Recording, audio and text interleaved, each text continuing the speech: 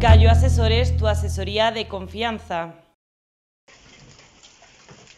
De norte a sur de la provincia, el granizo se ha convertido en el protagonista este jueves. Una gran tormenta, por su intensidad, ha barrido diferentes puntos de la provincia, dejando caer enormes fragmentos de granizo que se han hecho visibles en localidades como Villalfeide, Pola de Gordón, Vega Cervera e incluso en León Capital. El fenómeno conocido como supercélula ciclónica se hace visible a través de tormentas breves e intensas con granizo que han provocado daños en vehículos, techumbres y cosechas. La tormenta se desplaza de norte a sur peninsular y su efecto solo será visible durante las próximas horas, alejándose por completo con la llegada de este viernes. La tormenta ha dejado imágenes poco vistas y que en determinadas zonas de la montaña han llegado a cubrir de blanco y por completo la superficie.